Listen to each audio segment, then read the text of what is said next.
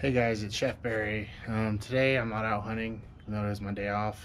It's been rough driving to California a lot lately to go hunt and drive there and back. It's putting some miles on my car. But today I thought I'd do some backyard prospecting with my new toy. Which, if you can't tell what this is, that is the Spike Strike gold cube super turbocharger i think that's what he calls it. But anyway i got the camo cube out and it is set up. I have some cons from i don't know where i don't know from when but we're gonna run those through because according to spike strike prospecting equipment this will catch 80% of the gold. So we're going to test that out today. I do have a standard gold cube mat in there and then two regular mats. Go just plain Jane gold cube. But we're also going to do some pay dirt in there. Got two Eureka Sands regular mix. Like two or three of these little bags from um, Klondike Klinkers little quarter pound bag. Also a bag of cons my good buddy Dano sent me from, I think, Ohio. But we're going to mix that all together. Plus some tailings or remnants of some panned material just to give it some more dirt. And we're going to run this through and see what it does. So as you guys could see from my shirt. I got a little wet. We had some technical difficulties. The hose came completely off, flew right at me, and I got soaked.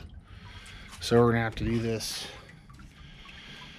Not exactly how I wanted to, but we're still gonna do it. So we'll get this going.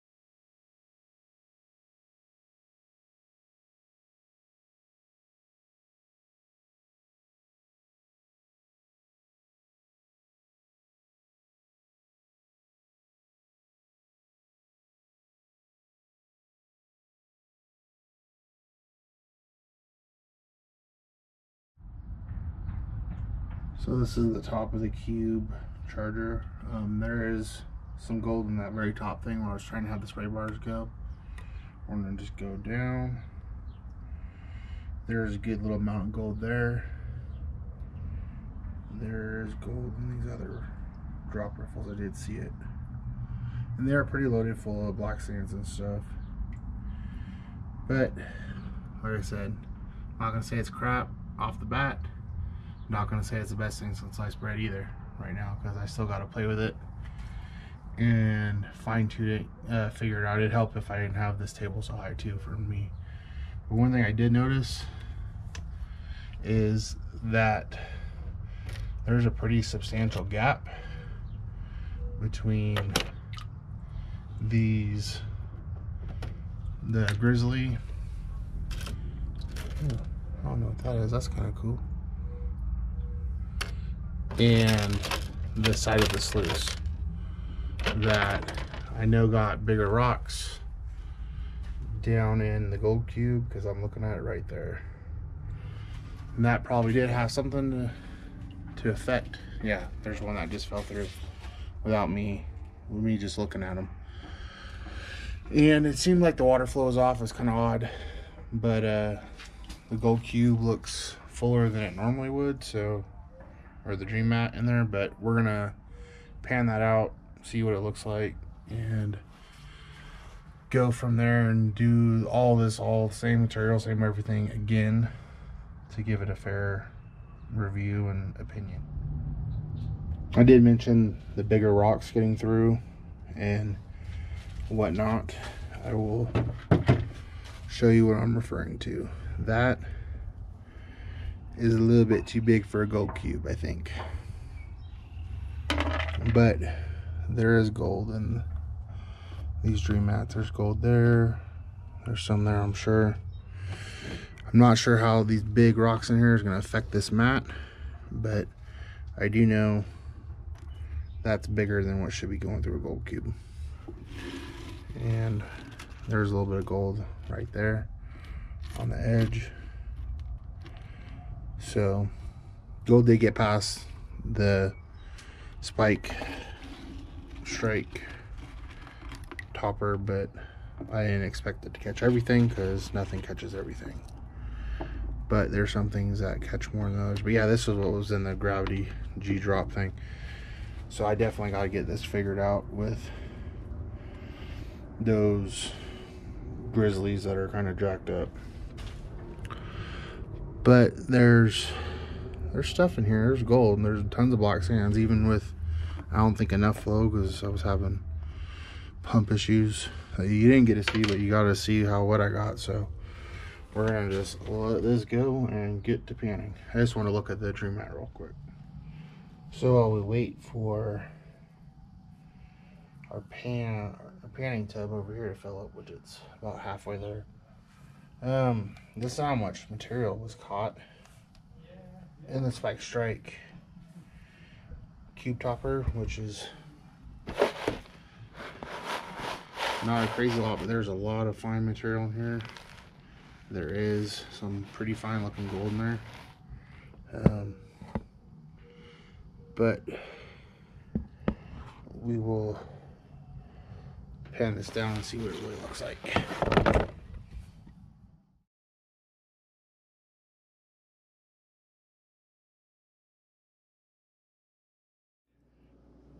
Alright guys, it's Chef Barry. I finally got done panning through the cons and cleaned them up pretty good from the Spike Strike cube topper and then also the Dream Mat layer of my gold cube. Um, I will say the the cube topper caught the majority of the gold, like no questions asked, even caught flying gold. Um, but there was some issues with it. I did mention earlier, like the punch plate not going all the way across the top of the sluice to prevent bigger rocks from getting through into your cube. Um, the holes for the spray bar um, on both sides of the sluice weren't drilled evenly. It's not the end of the world, it's not a deal breaker, but some people it might be.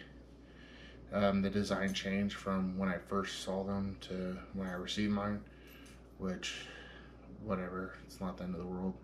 But it's a little bit different, but you know, things happen, designs change, whatever, no big deal. So we're gonna weigh up the gold and I'll give you my first overall impressions. It, it's good, you know, besides those little things I did mention, it did what I was supposed to it caught most of the gold. Which if you're catching most of your gold before it hits the cube, you're doing good because it'll save you from running through your cube and maybe not catching it there. So we're going to weigh up our gold right now. So the first bit of gold that we're going to weigh is from the Spike Strike cube topper. Which there is some black sands and a couple other little things in there. But that is 2.652 grams, which is pretty nice. I'm happy with that. So we're gonna put that off to the side and then weigh the other gold from the first mat of Dream Mat.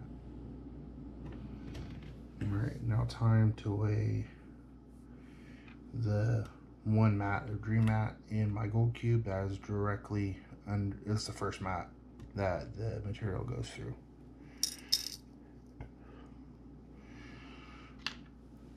So that's 0.282 grams of gold for the first mat of Dream Mat. And now we're gonna put it all together to see what it caught. And I don't even look at my other dream mat or the Q mats because I mat gets it all pretty much. So, so just shy three grams of gold, which it's kind of nice to get some shiny. That's the best gold I've got for the year. It's the only gold I've got for the year besides a beauty half ounce nugget I won in a drawing online. But it's some nice chunky gold. So, all in all, I'm pretty happy with my cube topper. There's a couple little things I want to work out, which I'm to. Um, but I would recommend it. It, it classified the material fine, except the little issues I did mention. Um, you know, it, it's good. It's cheaper than the Gold Cube high banker attachment. And uh, it looked like it catch more gold than it. That, that's one of the main reasons I went with Spike Strike's cube topper. Besides the cost, cost is really good. It, I think it was like $226 shipped to my house total, which is not bad. Um, but yeah, no, it's a good piece of equipment. It'll definitely be a great addition to the camo cube. I'll be taking it out hopefully sooner than later after I get a turkey, which hopefully I get one in a week or so because it's been a rough season so far. All my spare time's been dedicated to trying to get a turkey. Usually I'm already done.